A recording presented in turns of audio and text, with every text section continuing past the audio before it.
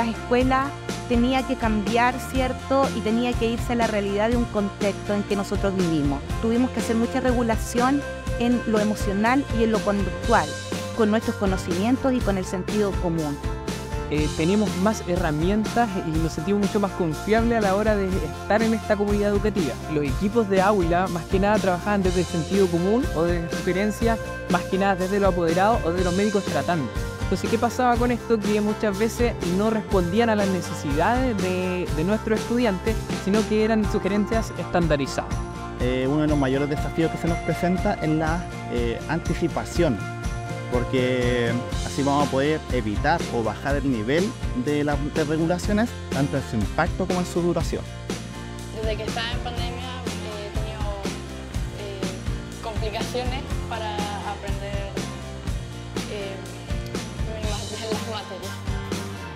Pero el colegio ayuda demasiado a, los niños que tienen complicaciones para entender, entender las cosas. Yo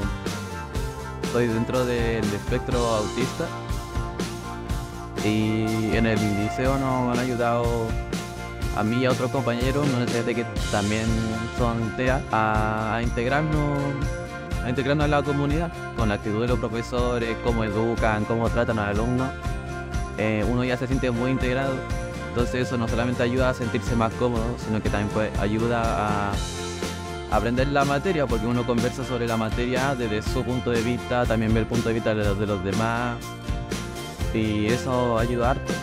Yo sentí la recepción del colegio eh, en cuanto a la necesidad de apoyo que tiene Samuel, eh, súper bien. Yo creo que cumple con todas las expectativas nuestras como, como apoderados, como papás, porque ellos tienen como un protocolo